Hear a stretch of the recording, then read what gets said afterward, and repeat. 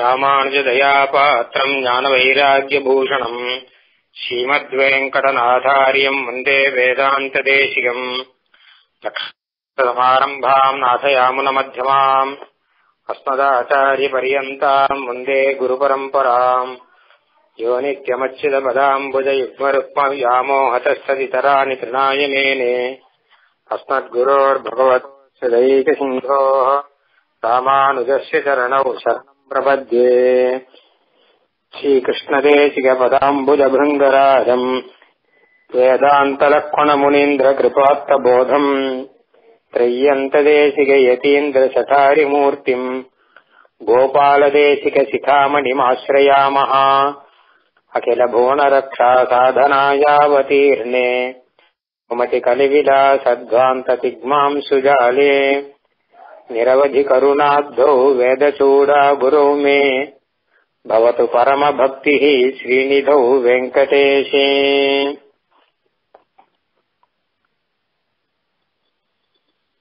இப்போது சித்தோபாய சோதனா அதிகாரத்திலே சரணாகதி என்பது மோட்சத்துக்கு உபாயம் என்பதை சாதித்துக் கொண்டு வருகிறார் சாத்தியோபாய சோதனா அதிகாரத்திலே சரணாகதி அப்படின்றது பகவானிடம் போய் பிரார்த்தனையுடன் கூட விசுவாசத்துடன் கூட நம்மளுடைய ஆத்ம ரக்ஷா பரத்தை சமர்ப்பணம் செய்தல். இது ஒரு தனியாக சில நிமிஷங்கள் இருந்து செய்ய வேண்டிய ஒரு உபாயம் இது. இந்த உபாயம் செய்தால்தான் பகவானிடம் மோட்சம் கிடைக்கும் என்பதாக சரணாகதி சம்பிரதாயம் அப்படின்னு சம்பிரதாயத்தில் இருக்கு. இதுக்கு ஒரு சங்கல்பம் உண்டு. பகவத் சந்நிதியிலே ஒரு பிரார்த்தனை உண்டு. இப்படியாக இருக்கு. அந்த சமயத்துல நம் ஸ்ரீ வைஷ்ணவ பட்சத்திலேயே வேறொரு பட்சம் வந்தது சரணாகதி பண்ண வேண்டாம் என்பதாக இருக்கு. ஏன் அப்படின்னா பகவான் தான் உபாயம். பகவானே உபாயமே தவிர சரணாகதி உபாயம் இல்லை. பகவான் தானே மோட்சத்தை கொடுக்கறான். அப்போ பகவான் தான் உபாயம் என்பதாக. சரணாகிதி உபாயம் சொல்றவாளுக்கு என்ன தாற்பயம்னா பகவான் உபாயம் இல்லைன்னு தாற்பயம் இல்ல பகவான் தான் உபாயம். சரணாகிதி பண்ணாலும் பகவான் தான் மோட்சத்தை கொடுக்க போறான். ஆனால் பகவான் சரணாகிதி பண்ணால் மோட்சத்தை கொடுப்பான். பகவான் தனக்கு வந்து வைஷமிய தோஷங்கள்லாம் வராம இருக்கிறதுக்காக அவன் யாருக்கு கொடுப்பான்னா இவருக்கு கொடுப்பான் இவருக்கு கொடுக்க மாட்டான்ங்கிறதுக்கு ஒரு விவஸ்தை வேணும். அதனால யார் சரணாகதி பண்றாலோ அவர்களுக்கு பகவான் மோட்சத்தை கொடுப்பான். மோட்சத்தை கொடுக்கறதுனோ பகவான் தான். பிரதான உபாயம் எதுன்னா பகவான் தான் பிரதான உபாயம். உபாயம் அப்படின்னா பலனை கொடுக்கறபடினால பகவான உபாயம் அப்படின்னு சொல்றது. பகவான் தான் பலனை கொடுக்க போறான். அவன் தான் பிரதானமானவன். ஆனா அவன் இந்த ஒரு சின்ன விஷயத்தை ஒரு எதிர்பார்க்கிறான். அதை வைத்து சரணாகதியை வியாஜம் அப்படின்னும் பகவானை சித்தோபாயம் அப்படின்னு சொல்றது. வியாஜம் அப்படின்னா ஒரு சாக்கு. ஒரு சாக்கு வச்சு அவன் பலனை கொடுக்கறான். அந்த மாதிரி. சமீபத்துல ஒரு ஏழு எட்டு வருஷம் முன்னாடி யூனிவர்சிட்டியில ஒரு சின்ன பிரச்சனை வந்துருத்து. யூனிவர்சிட்டியில கோர்ஸ் எல்லாம் மாத்தினான்.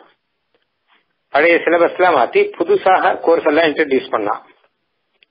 வெறும் சிலபஸ் மாறுறதுன்னு மாத்திரம் இல்லாமல் மொத்த ஸ்ட்ரக்சருமே மாறுறது. பிஏக்கு எம்ஏக்கு என்பதாக மார்க்கிங் சிஸ்டம் போய் கிரேடிங் சிஸ்டம் அப்படிங்கிற சிஸ்டம் வந்தது. மார்க் கொடுக்கறதெல்லாம் கிடையாது. கிரேடாக கொடுக்கணும். அந்த மாதிரி பேப்பர்கள்லாம் ஆப்ஷனல் பேப்பர் அவளே எடுத்துக்கலாம் அப்படின்னா சிஸ்டங்கள்லாம் வந்தது. இத்தனாம் வருஷத்துல இருந்து இதை அறிமுகப்படுத்தி அது வந்துட்டே இருந்தது.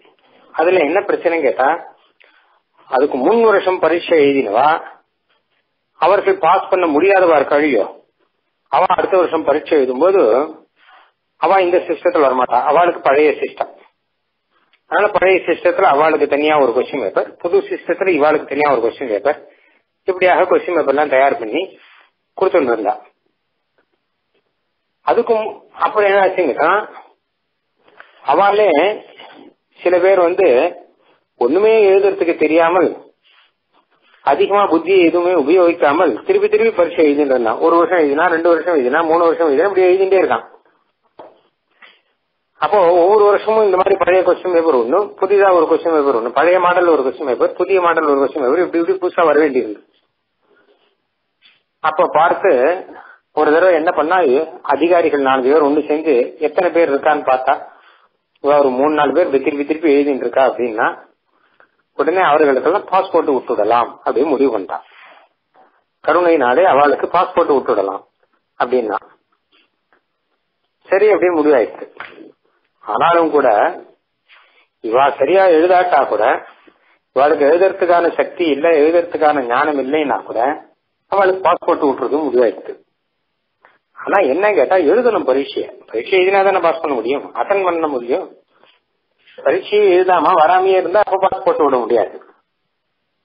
பரீட்சை எழுதினான்னா அவன் ஏதோ ஒரு அஞ்சு மார்க் பத்து மார்க் எழுதினான்னா அப்ப வந்து அவனுக்கு வந்து வெறுமை எழுதிருந்தா கூட அஞ்சு மார்க் பத்து மார்க் இருந்தா கூட அவனை பாஸ் போட்டு விட்டுடலாம் அந்த மாதிரிதான் பகவான் வந்து நமக்கு மோட்சத்தை கொடுக்கறதுக்கு தயாரா இருக்கான். மோட்சத்தை கொடுக்கணும்னா அதுக்காக நம்ம என்ன பண்ணிருக்கோம்னா கர்மயோகம் ஞான யோகம் பக்தி யோகம் எல்லாம் பண்ணணும். அதெல்லாம் நம்மளால பண்ண முடியல. நம்ம கர்மயோகம் ஞான யோகம் பக்தி யோகத்துல நம்ம ஃபெயில்னு வச்சுக்கலாம். ஒண்ணுமே கிடையாது நம்மளால. துளிகளும் ஒண்ணும் தெரியாது. அப்போ பகவான் கருணையினால என்ன பண்றான்? நீங்க ஏதோ ஒண்ணு பண்ணுங்க. மோட்சத்துக்கு உபாயம் சொல்லிட்டு ஏதோ ஒண்ணு பண்ணுங்க. நான் உங்களை பாஸ் பண்ணி விட்டுறேன். அப்படின்னு அவன் ஏற்பாடு பண்ணிருக்கிறான். அதுதான் இந்த சரணாகதி அப்படின்னு.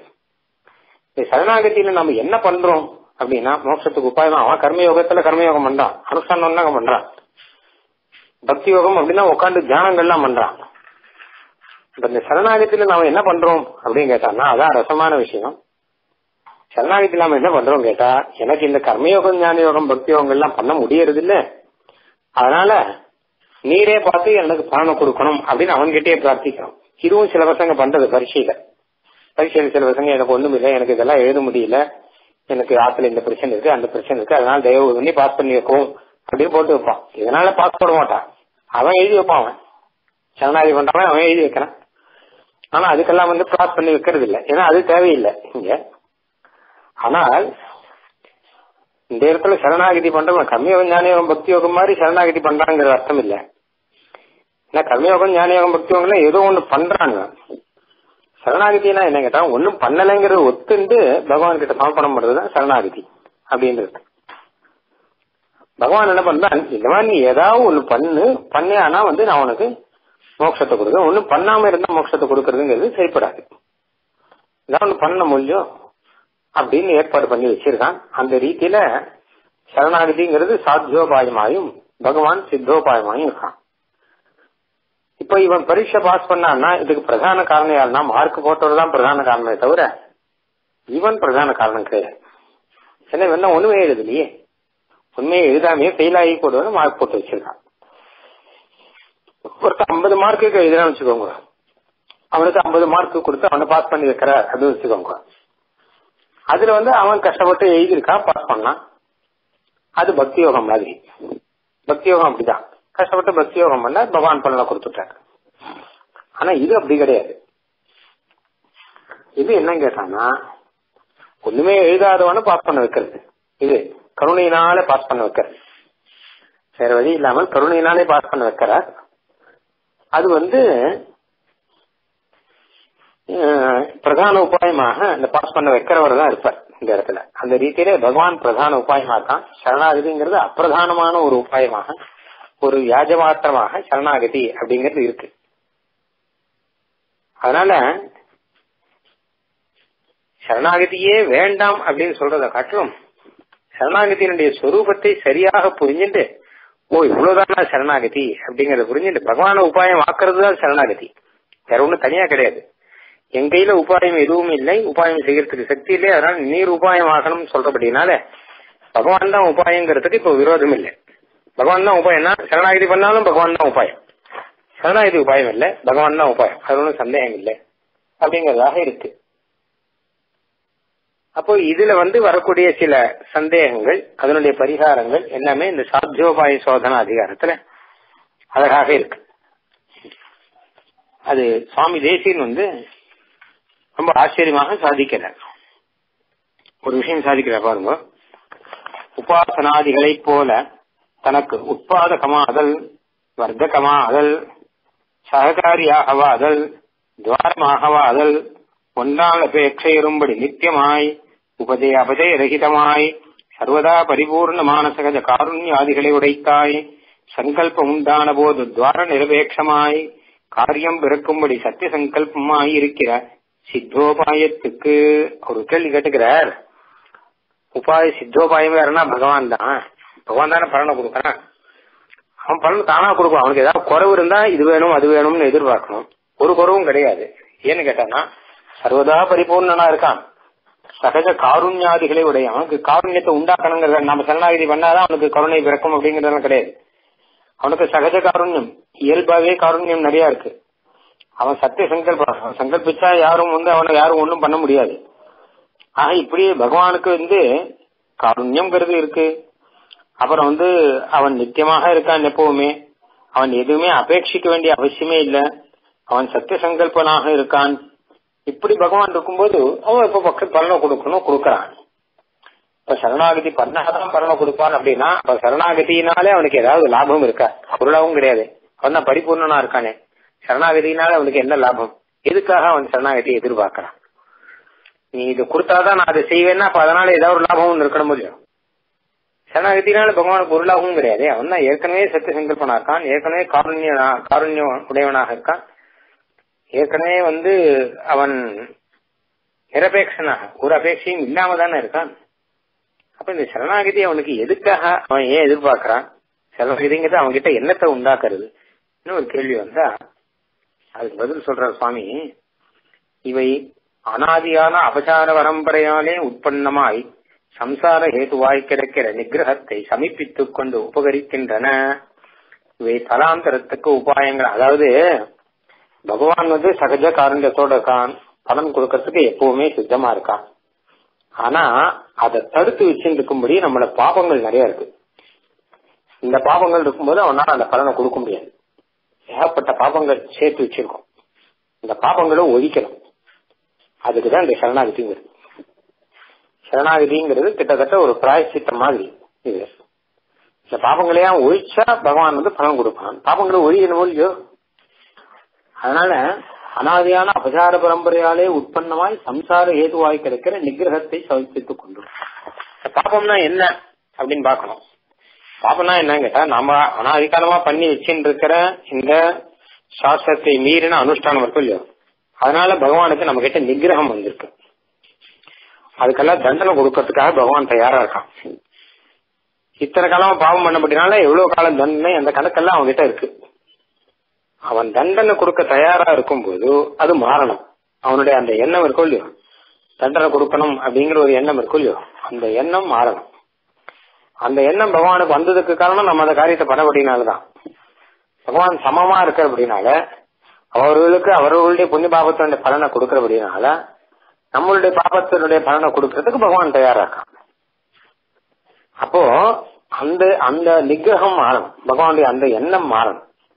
அதுக்காக தான் பகவான் கிட்ட போய் சரணாகதி பண்ணான்னா அவ பகவானுடைய அந்த எண்ணம் மாறும்.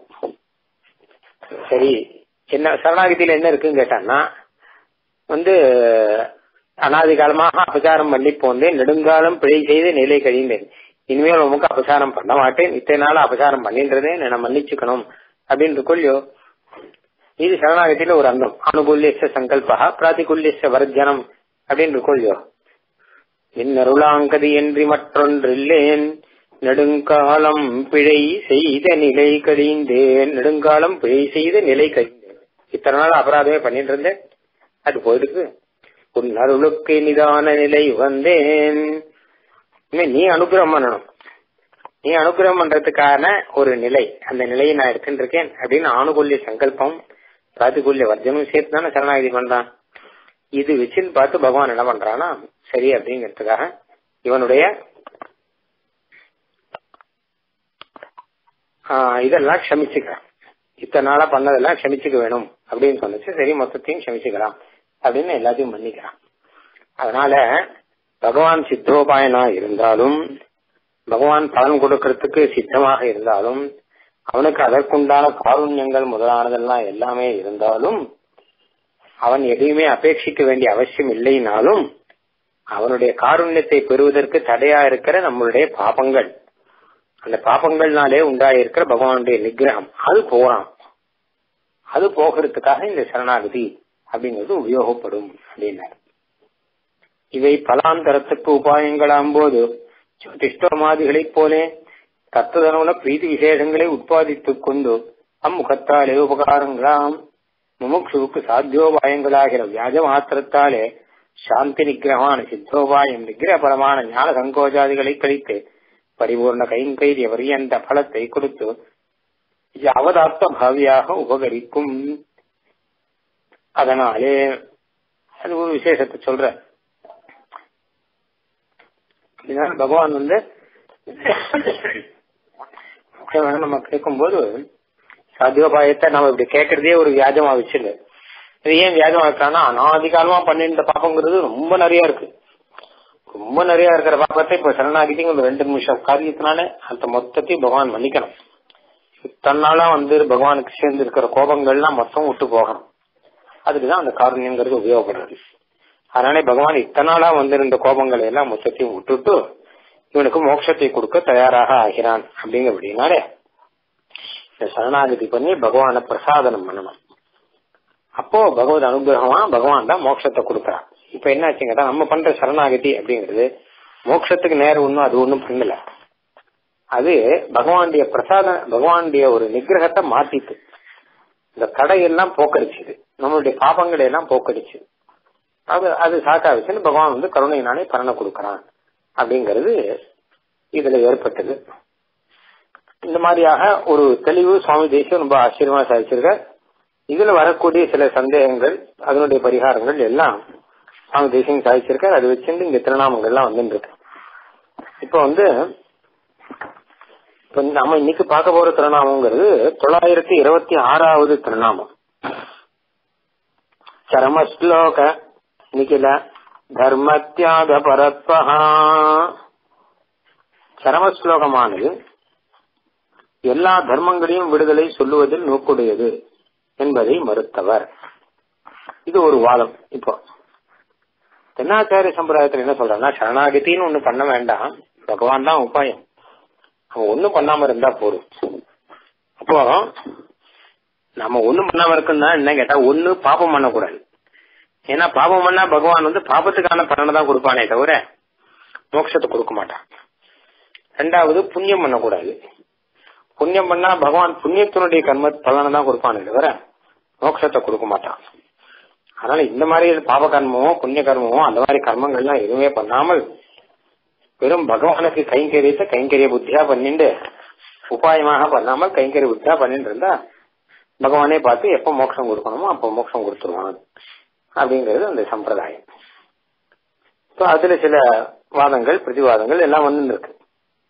அதுல ஒண்ணு சரம ஸ்லோக சரம ஸ்லோகம் இருக்கும் இல்லையா சரம ஸ்லோகத்துல தான் வந்து சரணாகதியை பத்தி எடுத்து சொல்லிருக்காரு பகவத்கீதையில கிருஷ்ணன் அருளி செய்த ஸ்லோகம் இந்த சர்ம ஸ்லோகம்ங்கிறது சர்வதர்மான் பரித்தஜ்ய மாமேகம் சரணம் வரஜ அப்படின்னு.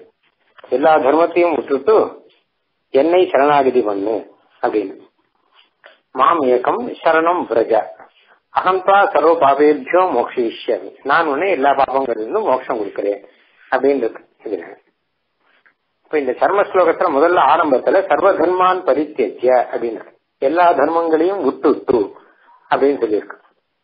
இதுல ஒரு சந்தேகம். எல்லா தர்மங்களையும் விட்டுட்டு அப்படின்னு தானே சொல்லியிருக்கு.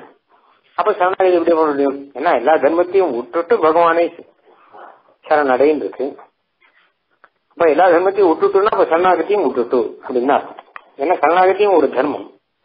எல்லா தர்மங்களையும் விட்டுட்டு அப்படின்னா சரணாகத்திங்கிற தர்மங்களையும் விட்டுட்டு பகவானை மாமேக்கம் சரணம் விடுக. பகவானை சரணமடை. பகவானை சரணம் அடையினா என்ன அர்த்தம் கேட்டா பகவானே உபாயமாக நினைத்துக்கொள் அப்படின்னு அர்த்தம். அதனால எல்லா தர்மங்களையும் விட்டுட்டு பகவானே உபாயமாக நினைத்துக்கொள் அப்படின்னு தானே அர்த்தமாச்சு. அப்படின்னு ஒரு சந்தேகம் ஒண்ணு வந்தது. அதுக்கு சமாதானம் சொல்ற அப்படி இல்ல. சர்வ தர்மான் பரித்தஜ அப்படின்னா எல்லா தர்மத்தையும் விட்டுட்டு அப்படின்னு பொதுவான அர்த்தம் சொல்லக்கூடாது. அப்படி சொன்னா அதுல பெரிய ஆபத்து ஒன்று இருக்கு. எல்லா தர்மத்தையும் விட்டுட்டு பகவானே உபாயமாக நினைக்கணும் அப்படின்னு தான் அர்த்தம் சொல்றாரு. அந்த பகவானே ஒரு தர்மம் தான் அப்ப எல்லா தர்மத்தையும் விட்டுட்டோம்னா அவரையும் விட்டுடணும்னு ஆயிடும். பகவானே தர்மம்னு சொல்றது உண்டு. கிருஷ்ணம் தர்மம் சனாதனம் அப்படின்னு. ஏச்ச வேதவிதோ விப்ராக ஏத்த அத்தியாத்ம விதோ ஜனாக தே வதந்தி மகாத்மானம் கிருஷ்ணம் தர்மம் சனாதனம் அப்படின்னு. கிருஷ்ணன் தான் சனாதனமான தர்மம். தர்மம்னா பலனை கொடுக்கறவங்க ரசத்துல வந்திருக்காங்க. இப்போ கிருஷ்ணன தர்மம் சொல்றது ராமன தர்மம் சொல்றது. தர்மோ விக்கிரகவான் அதர்ம விரத்தின் தன்னீச தன்னீதனா அப்படின்னு ஸ்ரீராமனை பத்தி சொல்லச்சே தர்மஹா அப்படிங்கிறார். தேசிகனே ராமோ விக்கிரகவான் தர்மஹா அப்படின்னு ராமாயணத்திலே இருக்கு. அப்ப ராமன் ஒரு தர்மம் கிருஷ்ணம் ஒரு தர்மம். இந்த இடத்துல தர்மம் அப்படின்னா தர்மம்னா ஸ்ரேயஸாதனம் ஸ்ரேயஸை கொடுக்கறது தானே தர்மம். நல்லதை இது கொடுக்கறதோ அதுதான் தர்மம் பேர் பகவான் தான் நல்லதை கொடுக்கப்படுறதுனால பகவானை தான் தர்மம்னு சொல்றேன். அப்ப சர்வதர்மான் பரித்தெரிஞ்சா எல்லா தர்மத்தையும் விட்டுடு அப்படின்னா அவ பகவானையும் விட்டுடுன்னு அர்த்தம் ஆயிடும் பகவானை விட்ட கூட பகவான் எப்படி உபாயம் ஆவான் அதனால சர்வதர்மான் பரித்தெஜங்கிறதுக்கு அப்படி அர்த்தம் சொல்லக்கூடாது. இல்லாட்ட என்ன பண்ணணும் கேட்டா வேற ஒரு வழி இருக்கு. சர்வதர்மான் பரித்தெஜ மாமேக்கம் சரணம் பிரஜா. எல்லா தர்மங்களையும் விட்டுட்டு பகவானே உபாயமாக நினைத்துக்கொள் அப்படின்னு கொள்ளியோ பகவானே உபாயமாக நினைத்துக்கொள் பின்னாடி சொல்றபடினால பகவானை தவிர மற்ற எல்லா தர்மங்களையும் விட்டுட்டு அப்படின்னு அர்த்தம் பண்ணிக்கணும். எல்லா தர்மங்களையும் விட்டுட்டு பகவான உபாயமா நினைச்சுக்கோ. அப்படின்னா அப்ப பகவானை தவிர எல்லா தர்மங்களையும் விட்டுட்டு அப்படின்னு தானே அர்த்தமாகும். அப்படின்னா அதனால சர்வதர்மான் பரித்தஜின்னு சொல்லியிருந்தா கூட எல்லா தர்மத்தையும் விடணும்னு சொன்னா கூட பகவானை தவிரன்னு அர்த்தம் கிடைக்கும் அப்படின்னா அதே மாதிரிதான் சரணாகதியை தவிர அப்படிங்கிற அர்த்தமும் கிடைக்கும். ஏன்னா சர்வதர்மான் பரித்தஜ மாமேக்கம் சரணம் விரஜ அப்படின்னு தான் இருக்கு. எல்லா தர்மங்களையும் விட்டுட்டு பகவான் என்னையே சரணாகதி பண்ணு அப்படின்னு தான் இருக்கு. சரணாகதி பண்ணுன்னு சொல்ற அப்படின்னால அதை விடக்கூடாது.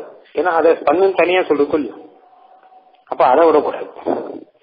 சரணாகதி பண்ணணும் அதை தவிர மற்றதை விடணும் அப்படின்னு அர்த்தம். எப்பவுமே வாக்கியம்னு வரைச்ச மொத்தமா சேர்த்து அர்த்தம் பண்ணணும் வாக்கியத்துல. இப்ப வந்து யாரும் வர வேண்டாம் நீ மட்டும் வா அப்படின்னு சொன்னா வச்சுக்கோங்க.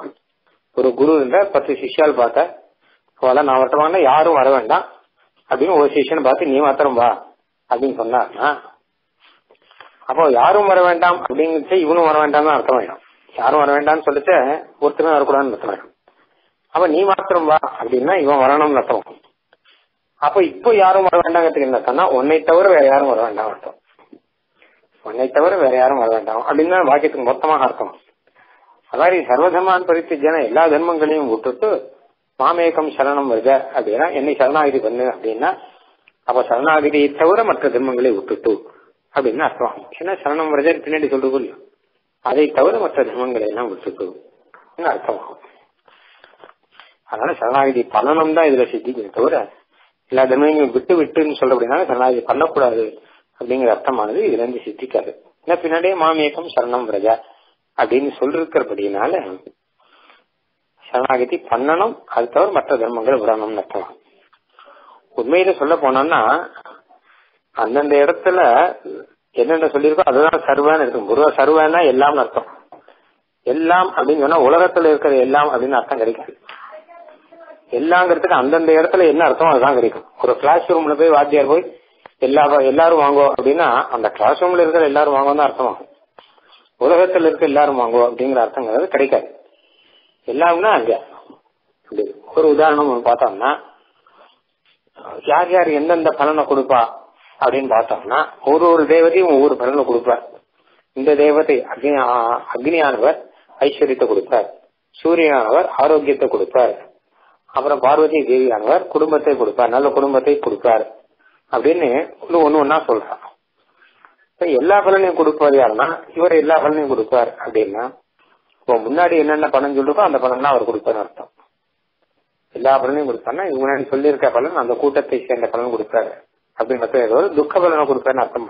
என்ன துக்கத்தை பத்தி சொல்லலையே. இங்க. அப்ப எல்லாங்கிறது அந்தந்த பிரகரணத்துல பிரகரணம்னா கான்டெக்ட் அந்தந்த கான்டெக்ட்ல என்ன இருக்கோ அதை வச்சுட்டு தான் எல்லாம் அப்படிங்கிறதுக்கு அர்த்தம் சொல்ல முடியும். இதுக்கு முன்னாடி என்ன சொன்னார் அதோட சேர்ந்து அதையெல்லாம் அப்படின்னு அர்த்தமாகும். அப்படி பார்த்தா பகவத்கீதையில சர்வதமான பரித்தியஜின்னு சொல்லும் போது அதுக்கு முன்னாடி என்னென்ன சொல்லிருக்காருன்னா கர்மயோக ஞான யோகம் பக்தி யோகம் சொல்லிருக்காங்க இப்போ கர்ம சர்வதர்மான் பரித்தியஜா அப்படின்னா எல்லா தர்மங்களையும் விட்டுட்டுனா இது வரைக்கும் சொன்ன தர்மங்கள் கர்மயோகம் ஞான யோகம் பக்தி யோகம் இதெல்லாம் விட்டுட்டு மாமேக்கம் சரணம் வரத என்னை சரணாகதி பத்னி அப்படின்னு அர்த்தம். அந்த அந்த பிரகடனத்துக்கு ஏற்ற மாதிரி இப்படிதான் அர்த்தம் ஆக தவிர அந்த வாக்கியத்துல சொன்னது அதையும் சேர்த்து அதையும் விட்டுடு அப்படின்னு அர்த்தம் வராது. லோகத்துல அப்படி அர்த்தம் எடுத்துக்கிறது இல்ல. மாமேகம் சரணம் வருதுன்னு என்னையே சரணாகதி பண்ணுன்னு தானே சொல்லியிருக்கு. அப்ப எப்படி அதை விட முடியும்? உரதாந்த சரணாகதி பண்ணுன்னு சொல்லுவாங்க அதுக்கு சில பேர் என்ன பதில் சொல்றாங்க கேட்டா அப்படி இல்ல. என்னை சரணாகதி பண்ணுன்னு சொல்றோம் இல்லையோ? சரணம் அப்படின்னா உபாயம்னு அர்த்தம். என்னையே உபாயமாக நினைத்து கொண்டு அப்படின்னு அதாவது எல்லா தர்மங்களையும் விட்டுடும் உனக்கு வேற உபாயம் இல்ல நான் தான் உபாயங்கிறத புரிஞ்சுக்கோ. அப்படின்னு இதுக்கு அர்த்தம் சொல்லாமே அப்படின்னா சரணம் ரஜா சரணம்னா உபாயம். உபாயமாக நினைத்துக்கொள்னு அர்த்தம் சொல்லாங்கன்னா இது சப்த சுவாரஸ்ய விருத்தம் அப்படிங்கிற சுவாமி. அதாவது பொதுவா ஒரு பதத்துக்கு ஒரு சப்தத்துக்கு என்ன அர்த்தமோ அந்த அர்த்தத்தை அப்படியே எடுத்துக்கணும். என்னையே சரணா என்னையே உபாயமாக நினைத்துக் கொள்ளு கிருஷ்ணன் சொன்னா பரவாயில்ல அப்படி சொல்லல. மாமேக்கம் சரணம் ரஜா என்னையே சரண் அடை அப்படிங்கிறான். சரண சரணாக அடைவாயாகன்னு சொல்ல அப்படின்னா அப்ப சரணாக அடைதல் அப்படின்னு ஒண்ணு செய்யணும் அப்படின்னாச்சு. அதனால அதை வச்சுன்னு பார்த்தோம்னா மாமேற்கம் சரணம் விரஜான்னு கண்ணனே சொல்றது அப்படின்னால சரணாகதி பண்ணணும் அதை தவிர மற்ற தர்மங்களை விடணும் அப்படின்னு அர்த்தம். அந்த மற்ற தர்மங்கிறது முன்னாடி சொன்ன கர்மயோக ஞான யோக பக்தி யோகம் எல்லாம் அதை விடணும். ஏன்னா அதை நம்மளால செய்ய முடியாது அப்படின்னு அர்த்தமாச்சு. சரமஸ்லோக நிகில தர்ம தியாக பரத்வா சரமஸ்லோகத்தினாலே எல்லா தர்மத்தையும் உடைச்சல் இருக்கு அப்படிங்கிறது கிடையாது. அங்க சொல்லியிருக்க கர்மயோக ஞானயோகங்களை உடைச்சல் இருக்கு அப்படிங்கிறது மாத்திரம் தான் அடுத்த திருநாமம் நிஷித்த வர்ஜனா தர்ம பாவனத்தியோக்கியபனோதனா நிஷித்தங்களை விடுகைக்கு அதர்மத்தன்மையை சொல்லுவதை விளக்கியவர். இதுல அப்படியே அடுத்த ஒரு கேள்வி. முதல்ல பகவத்கீதையில கர்மயோகம் ஞான யோகம் பக்தி யோகம் முதலான கடுமையான உபாயங்களை எல்லாம் அருளி செய்திருக்கான் அதுக்கப்புறம் கடைசியில இந்த சரணாகிதியை அருளி செய்திருக்கான் இல்ல பகவானுடைய அபிப்பிராயம் என்ன அப்படின்னு கேட்டான்னா முதல்ல சொன்னதெல்லாம் இருக்கும் கர்மயோகம் அதெல்லாம் செய்யணுங்கிறதுக்காக சொல்லல. செய்யக்கூடாதுங்கிறதுக்காக தான் அதெல்லாம் முதல்ல உபதேசம் பண்ணிருக்கோம் இதெல்லாம் செய்யக்கூடாது இதெல்லாம் உபாயமே இல்லை அப்படின்னு. அதுக்கு ஒரு உதாரணம் சொன்னான். காளை மாடு இருக்கும் காளை மாட்டுக்கு வந்து நெல் மூட்டை சுமக்க வைக்கணுங்கிறதுக்காக கிராமங்கள்ல மாட்டு வண்டியில மாட்டுல நெல் மூட்டையெல்லாம் ஏத்தின்னு போவா. நெல் மூட்டை அப்படின்னா ஒரு பெரிய மாட்டு வண்டியில கிட்டத்தட்ட பத்து இருபது மூட்டை நெல் மூட்டை ஏற்றி அதுக்கு ஒரு கால மாடு அது இழுத்துன்னு போகும். அதுக்கு அந்த சக்தி உண்டு. அந்த மாதிரி கிராமங்கள்ல நடக்கும். அப்ப சில கால மாடு முரண் பிடிக்கும். இந்த நெல் மூட்டை எடுத்துன்னு போறதுக்கு முரண் பிடிக்கும். அந்த முரண் பிடிக்கிற காலமாட்டா அடக்கிறதுக்காக ஒரு வழி வச்சிருக்கா முதல்ல நெல் மூட்டையை ஏத்தாமல் மண் மூட்டையை ஏத்திடுவான் அண்ணா வண்டியில. ஏத்தி அதை போட்டு கால மாட்டை ரெண்டு அடி அடிச்சு அதை போட்டு வண்டியில பூட்டி வச்சு அதுல மண் மூட்டை மண் மூட்டைங்கிறது நெல் மூட்டைங்கிறது கனம் குறவு. மண் மூட்டைங்கிறது நல்ல கனமா இருக்கும். அதை முதல்ல ஏத்திடுவான் ஒரு பத்து மூட்டை ஏத்திடுவான் ஏத்தினா அது பாரம் தாங்காம அது அவஸ்தப்படும். அப்புறம் மெதுவாக அந்த மண் மூட்டையெல்லாம் எடுத்து நெல் மூட்டையை ஏத்தி வச்சுட்டோம்னா அப்பா பாரம் குறைஞ்சதுன்னு நிம்மதியா ஓட்டின்னு போகும். இந்த கால மாட்டுக்கு முதல்லயே நெல் மூட்டையை ஏத்திட்டோம் வச்சுக்கோங்க. அது திமுர் இருக்கும் இல்லையோ? அது திமுர் அதை விடாது. முதல்லயே நெல் மூட்டையை ஏத்திட்டான்னா உடனே அது வந்து திமுரு பிடிச்சி அதை ஏத்த எடுத்துக்காம போகும் அது. ஆனா முதல்ல இப்படி ஒரு பயமுறுத்துறதுக்காக மண் மூட்டையை ஏத்தி அதுக்கப்புறம் அதை இறக்கி வச்சுட்டு அதுக்கப்புறம் நெல் மூட்டை ஏற்றினா அப்பா நமக்கு வாட்டமா இருக்கு. அப்படின்னு அதை ஏற்றின்னு போகும் அந்த மாதிரிதான் கிருஷ்ணன் வந்து முதல்ல கர்மயோகம் ஞான யோகம் பக்தி யோகத்தை சொல்லிடுறான். அது வந்து அர்ஜுனனை பயமுறுத்துறதுக்காக சொன்னது. அர்ஜுன கூட்டு முதல்லயே நீ சரணாகிதி பண்ணு. அப்படின்னா சரணாகிட்டியா? அப்படின்வான் அவன் அதை பெரிய விஷயமா நினைக்க மாட்டான். இந்த சரணாகி தானே இதுன்னு ஒரு பத்து நிமிடத்துல ஆயிட போறது? நான் என்ன பண்ண போறேன்? இதுக்காக. பண்ணிடுறேன் அப்படின்னுவான் அப்ப அவன் கொழுப்பு அடக்கணுங்கிறதுக்காக சரணாகதினா சாதாரண விஷயம் இல்லை. ஆனா கொழுப்பு அடக்கணுங்கிறதுக்காக முதல்ல கர்மயோகம் ஞான யோகம் பக்தி யோகத்தெல்லாம் அவருக்கு சொல்லி இதெல்லாம் பண்ணுனா ஐயோ இதெல்லாம் எப்படி பண்ணுவேன் நானு? இதை பார்த்தா பண்ணும்படியாவே தெரியலையே அப்படின்னு அவன் நினைக்கும் போது அப்ப சர்வ தர்மான் பெருச்சாச்சா அதெல்லாம் விடுவா அதெல்லாம் விரும்ப சொல்லிட்டு அதெல்லாம் விட்டுடு. மாமேக்கம் சரணம் பிரஜ என்னையே சரணாகதி பண்ணு. நானே உபாயம். அப்படின்னு நினைச்சுக்கோ. அப்படின்னு சொல்லி சொல்றபடினால இப்ப என்ன ஆச்சு அப்படின்னு கேட்டாங்கன்னா அப்படி காலமாட்டக்கிறதுக்கு முதல்ல மண்மூட்டி ஏற்றினாலும் இல்லையோ? அது மண்மூட்டியை ஏத்தணுங்கிறதுக்காக ஏத்தல. நெல் மூட்டையை ஏத்தணுங்கிறதுக்காக மண் மூட்டை ஏற்றிட்டு அந்த மாதிரி கர்மயோகம் ஞானயோகம் பக்தி யோகம் சொன்னது அதை செய்யணுங்கிறதுக்காக இல்ல. சரணாங்கிறதுக்காக கர்மயோகம் ஞானயோகம் முதலானதெல்லாம் செய்ய சொல்லி இருக்கு உண்மையில பார்த்தா கர்மயோகம் ஞானயோகம்லாம் நம்ம செய்ய வேண்டியது இல்லை அதெல்லாம் தர்மங்களே இல்லை அப்படின்னு. அதெல்லாம் வேண்டாத சுமையாகும். அதனால அது தர்மமே இல்லை. அப்படின்னு அப்படின்னு இதுக்கு அர்த்தம். சர்வதர்மான் பரித்திஜ அப்படிங்கிறதுக்கு இப்படி ஒரு அர்த்தம் சொன்னா ஆனால் இது கிடையாது. இந்த மாதிரி அர்த்தம் சொல்லக்கூடாது அப்படின்னு கேட்டாங்கன்னா இதெல்லாம் தர்மமே இல்லைன்னு எப்படி சொல்ல முடியும்? கர்மயோகம் ஞான யோகம் பக்தி யோகம்னா தர்மம் இல்லைன்னு சொல்றது தப்பு. இதெல்லாம் உயர்ந்த தர்மங்கள். அப்படிதான் சாஸ்திர பல இடத்துல சொல்லியிருக்கான் பஞ்சராத்திர சாஸ்திரங்கள் எல்லாம் பல இடத்துல சொல்லியிருக்கு உதாரணத்துக்கு கர்மயோகம் ஞான யோகம் பக்தி யோகம் மிக மிக உயர்ந்த தர்மங்கள் அப்படின்னு இருக்கும்போது இத வந்து மண் மூட்டை மாதிரி வெறுமையான ஏத்தி வச்சது அப்படின்னு கிடையாது. சாஸ்திரம் எந்த வழியில போறக்கோ அந்த வழியில தான் நம்ம அர்த்தம் சொல்லணும். இப்ப இதெல்லாம் உயர்ந்த தர்மங்கள் நான் சொல்லியிருக்கேன். இந்த மகான்கள்லாம் பன்னாள் அப்படின்னு தானே இருக்கு. அதனால இதுக்கெல்லாம் நிவர்த்தி தர்மம் அப்படின்னு பேர். இந்த கர்மயோக ஞான யோகங்களுக்கு நிவர்த்தி தர்மம் அப்படின்னு நிவர்த்தி தர்மம் அப்படின்னா மோட்ச பலனுக்கான தர்மம். வேற பலனை எல்லாம் எதிர்பார்க்காத மோட்ச பலனுக்கான தர்மம். இதெல்லாம். அதனால இதெல்லாம் தர்மம் தான் தர்மம் இல்லைன்னு சொல்ல முடியாது. மண் மூட்டை இல்ல. இதெல்லாமும் ஒரு விதத்துல நெல் மூட்டை தான் இதெல்லாமும் ஒரு விதத்துல தேவையானது தான் அப்படின்னு. அதனால சர்வதர்மான் பரிச்சை ஜன இதெல்லாம் விட்டுட்டு அப்படின்னு அர்த்தம் வந்து வரும் இதெல்லாம் தேவையானது தானே? தேவையானதானே? இதையெல்லாம் விட்டுட்டு அப்படிங்கிற அர்த்தமானது வரும். அப்படின்னு இந்த மாதிரிதான் அர்த்தம் சொல்லணுங்கிறது சுவாமி சாதிச்சிருக்கார். அதுதான் வந்து இந்த திருநாமத்தில் நாம பார்த்தோம். நிஷித்த வர்ஜன அதர்ம பாவத்த உக்தி அபமோதனா நிஷித்தங்களை விடுவதை அதர்ம தர்மை அதர்மம் என்று சொல்வதை விளக்கியவர் அப்படின்னு. நிஷித்தங்களை விடுகைக்கு அதர்மத்தன்மையை சொல்வதை விளக்கியவர். இதுக்காக நிவர்த்தி தர்மம் அப்படின்ற நிவர்த்தி தர்மங்கள்லாம் அந்த கர்மயோக ஞானங்கள்லாம் நிவர்த்தி தர்மம். இது அதர்மம்னு சொல்லக்கூடாது. இதையும் அதர்மம்னு சொன்னா அப்ப எதையுமே தர்மம்னே சொல்ல முடியாது போதும். அர்த்தம்? அடுத்த தொள்ளாயிரத்தி இருபத்தி எட்டு உபாசன ஸ்வரூப உபாயஸ்வரூப விரோத உபாசனம் என்னும் உபாயம் நம் சுரூபத்துக்கு விரோதம் விருத்தம் என்பதை மறுத்தவர். அடுத்து ஒருத்தர் சொன்னா சர்வதர்மான் பரித்தெஜ்ய அப்படின்னா எல்லா தர்மத்தையும் விட்டுவிடும்னா அப்போ பக்தி யோகம் கர்மயோகம் உபாசனம் அதெல்லாம் விடணும். பக்தி யோகம் தான் உபாசனம். அந்த உபாசனத்தையும் விட்டுடணும் உபாசன ஸ்வரூபத்தையும் அப்படியே மொத்தத்துமாக உபாசனத்தையே விட்டுடணும் அப்படின்னு அர்த்தமாச்சு அப்போ ஏன் விட்டுடணும் அப்படின்னு கேட்டா அந்த உபாசனம்ங்கிறது நம் சொரூபத்துக்கு விருத்தம் அப்படின்னு வியாக்கியானம் பண்ணலாம். ஆத்மஸ்வரூபத்துக்கு அது விருத்தம் அப்படின்னா. அத அதை கண்டிக்கிறார் சுவாமி.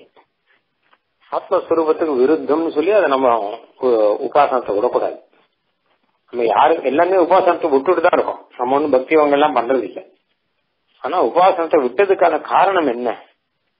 அப்படின்னா அது நம்மளால செய்ய முடியல அதனால விட்டுட்டோம் நமக்கு ஞானம் இல்லை சக்தி இல்லை விளம்பத்தை சகிச்சுக்கக்கூடிய சுபாவம் இல்லை.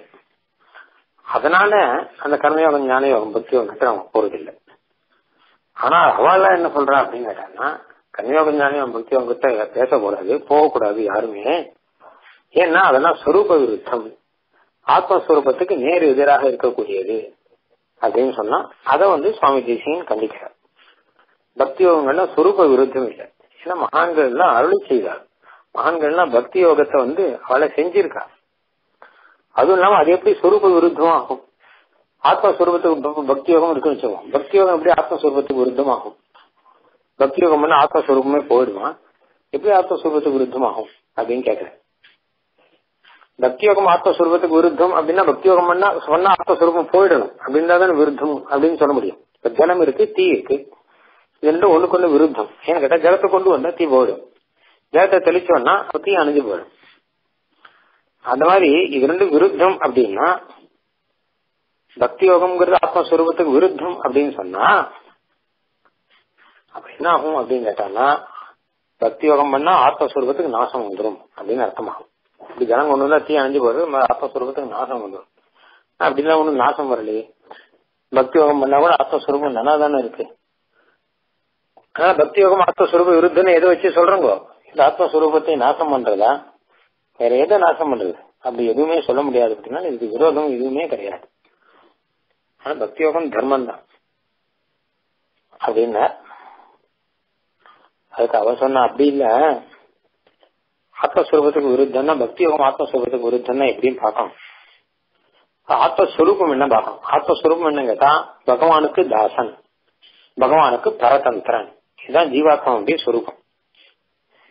ஜீவாத்மாங்கிறவன் பகவானுக்கு தாசனாக இருக்கான் பகவானுக்கு பரதந்திரனாக இருக்கான் பகவானே உபாயமாக கொண்டு பகவானே உபாயமாக கொண்டு இருக்கான். அப்போ பகவானுக்கு தாசனாக பகவானுக்கு சேஷனாக இருக்கான்னு சொல்லுவான் சேஷனா இருக்க எந்த உபாயம் பண்ணக்கூடாது. ஏன்னா சேஷிதான் எல்லாம் பண்ணுவே தவிர சேஷம் பண்ணாது. சேஷிதான் எல்லா உபாயத்தையும் பண்ணுவானே தவிர சேஷன்னா அடிமையா இருக்கான்னு வச்சுக்கோங்க. அவன் எதுவும் கேட்க மாட்டான்.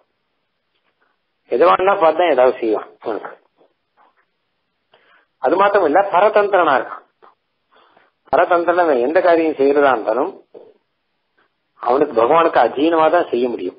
தனியாக சுதந்திரமாக இவனால செய்ய முடியாது. அப்ப பகவானுக்கு அதீனமாக இருந்துதான் இவன் எல்லாத்தையும் செய்ய முடியும். அப்ப சேஷனாக இருக்கிறவன் பரதந்திரனாக பரதந்திரனாக இருக்கக்கூடியவன் அப்படிப்பட்டவன் என்ன பண்ணுவான்னு கேட்டா அந்த பக்தி யோகம்லாம் பண்ண மாட்டான். அதெல்லாம் சுரூப விருத்தம் ஏன்னா பக்தி யோகம்னா சேஷத்துவம் போயிடும். சேஷத்துவம்னா என்ன? பகவானை சேர்ந்தவன் நான் அப்படிங்கிறது. பகவானுடைய சொத்து அப்படின்னா அப்ப இதை காப்பாற்ற வேண்டிய பகவானுடைய பொறுப்பு தான். நான் ஏன் பக்தி யோகம் பண்ணணும்? நான் என்னை காப்பாற்றிக் கொள்ள நான் பக்தி யோகம் பண்ணானா அது என்னை நான் என்னுடைய இதுன்னு நினைச்சிருக்கேன்னு அர்த்தம். ஆனா அப்படி இல்லையே. இது பகவானுடைய தானே. அப்ப பகவானை காப்பாற்றிக் கொள்ள பகவானுடைய சொத்தை காப்பாற்றிக் கொள்ள பகவான் தான் ஏதாவது பண்ணலாம் நான் எதுவும் பண்ண மாட்டேன். அப்படி நான் பக்தி யோகம் பண்ணா அது என் சுரூபத்துக்கு விருத்தம். சேஷத்துவ சுரூபத்துக்கு விருத்தம். பரதந்திரனான சுரூபத்துக்கு விருத்தம். அப்படின்னா. அதுக்கு சுவாமி தேசியன் பதில் சொல்றாரு. அப்படி கிடையாது. இதெல்லாம் கிடையாது. இவன் இவன் சேஷன் அப்படிங்கறதும் இவன் பரதந்திரங்கிறதும் ஒரு விதத்துல உபயோகப்படும். பின்ன இவன் பக்தி யோகம் பண்ணணும் சாஸ்திரம் சொல்லிக்கோ இல்லையோ? அதனால பக்தியோகம் பண்ணணும். பக்தியோகம் பண்ணும்போது சேஷங்கிறது எப்படி உபயோகப்படும் அப்படின்னு கேட்டா நான் பகவானுக்கு தாசன். பகவானை சேர்ந்தவன். அதனால பகவானை கொடுத்து நான் பக்தி யோகம் பண்ணி நான் மோட்சத்தை போனோம் அப்படிங்கிறதுக்கு இது உபயோகப்படும். மை பரதந்திரன் ஜீவன் எப்பவுமே பகவானுக்கு அதீனமா தான் செயல்படுறான் அப்படின்னு இருந்தா கூட பகவான் கொடுத்த சுவாதந்திரத்தை சுமந்து அப்படிங்கிற பகவான் சில சுவாதந்திரம் கொடுத்துருக்கான். அந்த சுவாதந்திரத்தை வச்சுட்டு இவன் வந்து என்ன வேணா செயல் பண்ணலாம். இவன் பரதந்திரனா இருந்தாலே பரதந்திரனா இருக்கிறவெல்லாம் அவன் கொடுக்கற சுவாதந்திரத்தை வச்சுட்டு தான் இவா பிரவர்த்திப்பா ஒரு பெரிய எஜமானன் ஒருத்தர் இருக்கான் வச்சுப்பா எஜமானன் வேலைக்காரன் ஒருத்தர் இருக்கான். அவன் சேஷனா இருக்கான். அவன் பரதந்திரனா இருக்கான். எஜமான் எஜமான் என்ன சொல்றாரோ அதெல்லாம் மொத்தத்தையும் செய்வான்.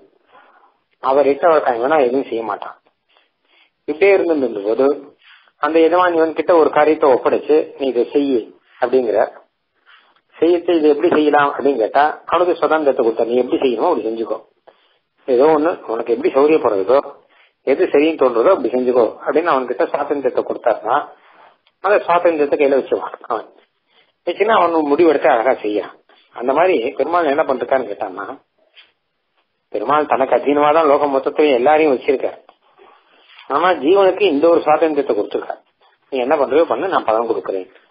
நான் கூட இருந்து நடத்தி வைக்கிறேன். அப்படின்னு சொல்லிருக்காரு அப்ப இந்த சுவாதந்திரங்கிறது பகவானே கொடுத்த சுவாதந்திரம். பகவானே கொடுத்த சுவாதந்திரம் வாழ வேண்டியதால இதை வச்சிருந்து இவன் வந்து கர்மயோகம் ஞான யோகம் பக்தி யோகம் பண்ணுவான். இவன் பகவானுக்கு சேஷம் தான் சேஷமா இருந்தா அப்ப அவன் என்ன பண்றான்? சேஷமா இருந்தா சேஷிக்கு தானே இருக்கணும். சேஷி பகவான் தானே. அதனால சேஷனா இருக்காள் அப்படிங்கிறது சேஷி கிட்ட ஆத்மாவை ஒப்படைக்கணும் அப்படிங்கறதுக்கு தேவையா இருக்கு? மாதிரி இவன் பரதந்திரமா இருக்கான் அப்படிங்கிறது பகவான் கொடுத்த சுவாதந்திரத்தை சுமந்துவான். எப்பவுமே பரதந்திரமா இருக்கான் பகவான் கொடுக்குற சுவாதந்திரத்தை சுமந்து பரதந்திரனா இருப்பான். தான் ஸ்ரீமத் எடுத்து பரதனை பார்க்கலாம் பரதாகவன் பரதந்திரனா இல்ல. பரதந்திரம்னா எஜமானுக்கு ஸ்ரீராமனுக்கு தான் பெருமாளுக்கு தான். லக்ஷ்மணன் சேஷத்துவத்துல இருக்காரு. பரதன் பரதந்திரத்துவத்துல இருக்காரு. இப்ப பகவானுக்காக தான் எனக்குன்னு எதுவுமே வேண்டாம் விட்டாங்க அவர்கிட்ட ராஜ்யம் எல்லாம் கொடுத்தா. ராஜ்யம் எல்லாம் எதுவுமே வேண்டாம் அப்படின்னு எதுவுமே எனக்கு தேவையில்லை. நான் பரதந்திரன். நான் பகவானுக்கு அதீனம். நான் ராமனுக்கு அதீனமானவன். எங்கிட்ட போய் இதெல்லாம் கொடுக்காதுங்க எங்கிட்ட சுவாதந்திரத்தை கொடுக்காதுங்க அப்படின்னு அப்படின்ட்டார் பரதாதான் அப்ப நாங்க போனார். சித்திரகூடத்தை போய் பெருமாளை திருப்பி கூட்டணும்னா பெருமாள் திருப்பி வரல. அவர் பாதுகையை கொடுத்து திருப்பி அனுப்பிச்சுட்டார். இப்ப ராஜ்ய பரிபாலனம் பரதன் தான் பண்றாரு. பாதுகையினுடைய பேர்ல பரதன் ராஜ்ய பரிபாலனம் பண்றாரு. அப்ப இப்ப பரதன் பரதன் வந்து பெருமாளுக்கு பரதந்திரங்கிறது என்னாச்சு? பெருமாளுக்கு பரதந்திரம் தானே இவர் எப்படி ராஜ்யம் பண்றாரு அப்படின்னா பெருமாளுக்கு பரதந்திரம் அப்படின்னால பெருமாள் கொடுத்த சுவாதந்திரத்தை சுமந்து இருக்கார் அவர். பெருமாளுக்கு பரதந்திரம் பெருமாள் என்ன செஞ்சாலும் என்ன சொன்னாலும் செய்யணும் இல்லையோ பெருமாள் தான் நான் சொல்றேன் நீ போய் ராஜ்ய பரிபாலனம் பண்ணு அப்படின்னா வந்து பண்ணி ஆகணும் அப்பதான் பரதந்திரன் ஆக முடியும். அதனால அவன் கொடுத்த சுவாதந்திரம் அவனே கொஞ்சம் சுவாதந்திரம் கொடுத்து வச்சிருக்கான். அதை வச்சிருந்து இவன் உபாயம் பண்றது சரியா இருக்கும் அதே மாதிரி நாம் சேஷனானபடினாலே நமக்கு சேஷியாக இருக்கக்கூடிய பகவான் தான் அவன்கிட்ட இந்த ஆத்மா ஒப்படைக்கிறது தான் உச்சிதம் அப்படிங்கறத புரிஞ்சுட்டு சரணாகி பண்ணுவான். அதனால சேஷன் ஆ இருக்கான் அப்படிங்கறதோ பரதந்திரனா இருக்கான் அப்படிங்கறதோ சரணாகி பண்றதுக்கு தேவையா இருக்கு. பக்தி யோகம் பண்றதுக்கும் தேவையா இருக்கு. ஆனா சேஷனாக பரதந்திரனா இருக்கிறவன் பக்தி யோகம் சுரூப விருத்தம் அப்படின்னு சொல்ல முடியாது. அந்த ஸ்வரூபத்தோடு கூடிய அவன் வந்து சேஷி சேஷனா இருக்கவே தானே சேஷி கிட்ட ஒப்படைக்கிறான். இல்லாட்டா எனக்கு எனக்கு அவருக்கு என்ன சம்பந்தம்? நான் எதுக்கு அவர்கிட்ட ஆத்மா ஒப்படைக்கணும்? அப்படின்னுவான். அப்படின்னு இது எல்லாத்துக்கும் முக்கியமான இன்னொன்று விஷயம். நாம் பகவானுக்கு சேஷர்கள் நாம் பகவானுக்கு தாசர்கள் நாம் பகவானுக்கு பரதந்திரர்கள் இதெல்லாம் சொல்லி கொடுக்கறதே சாஸ்திரம் தான் நமக்கு. இல்லாட்டா நமக்கு தெரியாது. அந்த சாஸ்திரத்துல பகவானுக்கு போய் சரணாகிதி பண்ணணும் அப்படின்னு சொல்லியிருக்கு. அதனால சரணாகதிங்கிறது அவசியம் பண்ண வேண்டியது. பக்தி யோகம் அப்படிங்கிறது ஆத்மஸ்வரூபத்தை நாசம் பண்ணுதல் அப்படிங்கிறது கிடையாது. அதுவும் பண்ண வேண்டியதுதான்.